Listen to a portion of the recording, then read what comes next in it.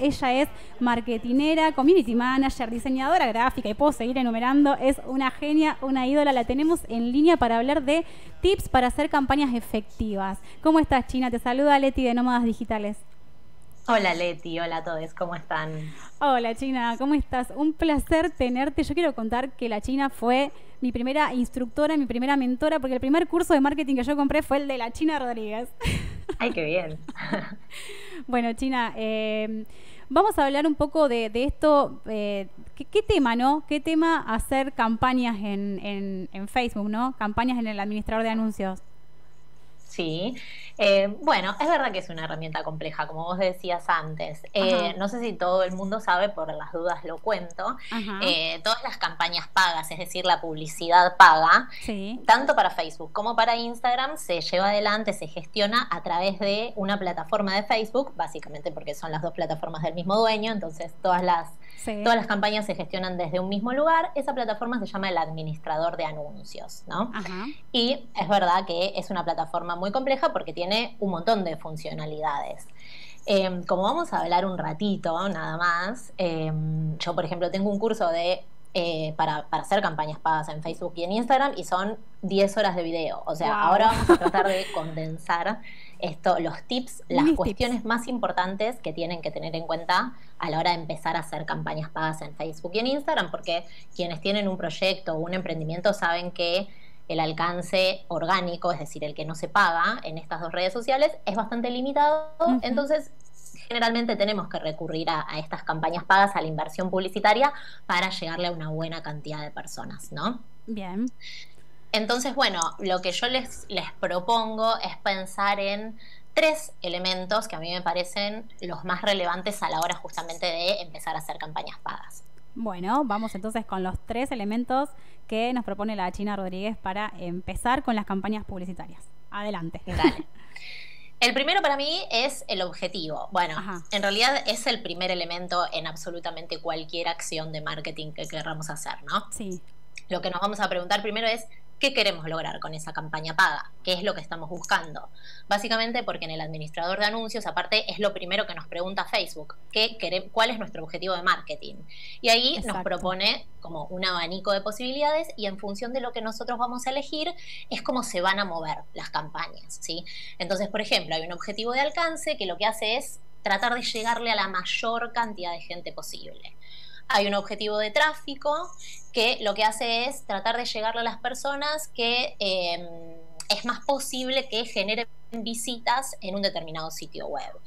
Si elegimos el objetivo de conversión, lo que hace es hacer más hincapié en las personas que tienen más posibilidades de comprar, es decir, que quizás entraron a nuestra tienda online, estuvieron viendo nuestros productos y demás. ¿sí? Entonces, dependiendo de lo que nosotros vayamos a elegir como objetivo, es cómo se van a mover esas campañas. Por eso es tan importante más allá de saber los objetivos que nos plantea Facebook en el administrador de anuncios, es primero preguntarnos, bueno, ¿para qué voy a invertir en campañas pagas? ¿no? ¿Para qué voy a destinar eh, esa inversión? Eso por un lado. Sí. Después el segundo, em, el segundo elemento, que es de los más complejos dentro del administrador de anuncios, es el público, es decir, la segmentación que vamos a hacer. Siempre es bastante complejo porque acá Facebook nos da un montón de posibilidades. Sabemos que tanto Facebook como Instagram trabajan con algoritmos que lo que hacen es ir recopilando información de nosotros como usuarios de redes sociales, de todas las webs que visitamos, eh, de, de, las publicaciones con las que interactuamos, las que miramos más, las que pasamos de largo, ¿no? Todo eso va conformando nuestro perfil como consumidores, como posibles consumidores, como audiencias publicitarias. Entonces, eh, Facebook e Instagram teniendo esos perfiles, después nos permiten segmentar como queramos. Obviamente tenemos la segmentación tradicional por zona geográfica, por sexo, por edad, pero después podemos trabajar, por ejemplo, no sé, podemos llegarle a las personas que visitaron un determinado sitio web o una determinada sección de nuestro sitio web o a las personas que interactuaron con nuestro perfil de Instagram, ¿no? Como súper detallado, o personas que tienen un determinado tipo de interés, personas que tienen hijos, em, personas que son viajeras frecuentes, digamos, a ese nivel de segmentación podemos trabajar dentro de la pauta paga. Por eso, me pasaba el otro es tan importante primero eh, conocer a nuestra audiencia, ¿no? Saber a quién queremos llegarle y después meternos en la herramienta y empezar como a investigar estas cositas, ¿no? Sí, sí, exacto. Vos sabés que mientras ibas contando eso me acordaba que la semana pasada me pasó que mm, me llegó, me llegó a mí un anuncio de, mm, de algo, bueno, que esto también es todo un tema, ¿no? De algo que había hablado con otra persona eh, hace unos días, viste que ahora está esto de que si te escuchan, lo que uno habla, bueno, ¿no? Pero, pero esto que vos decías, ¿no? Que hasta podemos segmentar al nivel de llegarle a madres de niños entre uno y tres años, por ejemplo. Me acuerdo que me, me, impactó un anuncio, no, no recuerdo bien exactamente de qué era, eh, pero era algo que era específico para una nena de, la nena de, mi hija, digamos. Yo digo, ¿cómo sabe Facebook que tengo una nena que tiene esta edad? Y viste, como vos decís, es al punto de poder segmentar a ese punto. Sí, y es, son las cosas que vamos compartiendo en las redes. También sepamos que no solo las, lo que estamos compartiendo y mirando en Facebook y en Instagram. Una vez que estamos logueados y logueadas con nuestro perfil, después quizás, no sé, nos vamos a, leer un diario o entramos en Mercado Libre o entramos en un sitio web. Todo eso mientras nuestra sesión está abierta también está siendo traqueado, ¿no? Eh, absorbido por ese algoritmo y está tomando información de todo lo que hacemos. Por eso parece que como pensamos en un producto o en un servicio y nos aparece la publicidad en las redes. Pero no, bueno, seguramente es porque o estuvimos mirando más un tipo de contenido eh, y entonces vamos dejando esa, esa huella digital en el mundo digital, como se dice, ¿no? Eh, pero bueno, del otro lado, como marketineres también está buenísimo saber que tenemos esa posibilidad, porque nada, con inversiones muy chiquitas se puede llegar a personas bien, bien específicas, ¿no? Que realmente estén interesados en lo que estamos vendiendo. Exacto, perfecto. Bueno, entonces para repasar era objetivo, segmentación. Hasta ahí venimos bien. Hasta ahí venimos bien. Y el último punto es, por supuesto, el mensaje, ¿sí? El anuncio en sí. Porque acá esto está bastante relacionado con los dos puntos anteriores. No es lo mismo si yo como objetivo tengo, por ejemplo, lanzar mi marca o dar a conocer mi marca, que si quiero vender un producto o un servicio determinado a través de una oferta o un descuento, ¿no? La imagen va a ser diferente, el texto del aviso va a ser diferente.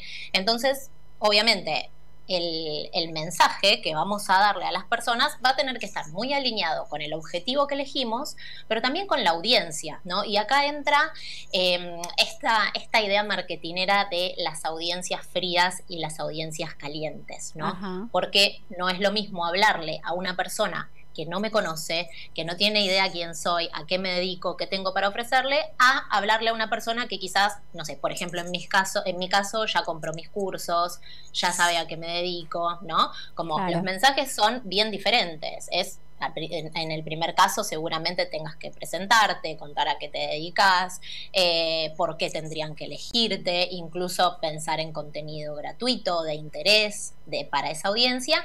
Y en el segundo caso, cuando trabajamos con audiencias más calientes, ahí sí podemos ir directo a quizás una llamada a la acción más concreta, a ofrecerles un producto o un servicio determinado. Entonces, el mensaje, es decir, el aviso que vamos a construir en cada uno de los casos, dependiendo el objetivo y la audiencia con la que estemos trabajando es bastante diferente. ¿no? Entonces es como que tenemos que hacer todo ese recorrido. Primero, pensar qué es lo que queremos lograr, a quién queremos llegarle y con qué mensaje, ¿no? qué es lo que le queremos decir. Perfecto, o sea que todo va relacionado en realidad. Plantear el objetivo, pensar el público al que me voy a dirigir y el mensaje que le voy a transmitir son como eh, tres eslabones en realidad de una cadena. Me parece que va todo de la mano, ¿no? Todos estos tres puntos que, que vos nos, nos diste. Eh, bueno, China. Exactamente. Y que, sí. Sí, no, y el yo agregaría un cuarto elemento ahora que estoy pensando, que es el testeo, ¿no? Porque acá no tenemos muchas recetas concretas que se aplican a todos los proyectos. Claro. Esta herramienta es como cualquier otra, hay que sentarse, empezar a hacer pequeñas pruebitas, quizás con poca inversión, e ir viendo cómo funcionan, cómo responden a tus mensajes y a partir de ahí ir ajustando e ir haciendo campañas cada vez más efectivas. Sí, tal cual, tal cual. En eso coincido. Por ahí empezar con poquito, pero bueno, ir testeando, ir, ir probando, que a lo mejor nos damos cuenta que, de todo este proceso a lo mejor estamos fallando en el objetivo, como vos decías, en la segmentación, en el mensaje, en alguno de estos puntos, por ahí estamos fallando y creo que es fundamental esto del testeo. Bueno, China, eh, para los que no te conozcan, ¿dónde te podemos encontrar? Tus redes sociales, tu página web, tus cursos. Bueno, em, mi página web es chinarodríguez.com eh, hasta mañana, todos mis cursos online tienen 50% de descuento porque estamos en el Cyber, Monday, así que pueden aprovechar. Y si no, dentro del mismo sitio web tienen un montón de recursos gratuitos en el blog. Y en Instagram me encuentran como arroba hola China Rodríguez. Ahí también tienen un montón de material gratuito sobre campañas pagas y sobre un montón de otros temas de redes sociales y marketing digital como para empezar a, a meterse en esos temas.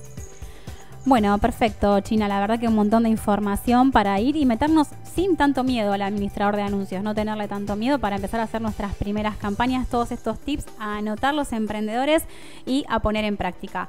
Muchas gracias, China. Un beso grande. gracias por tu muchas tiempo. Gracias. Chao, chao. Hasta luego. Chao, chao.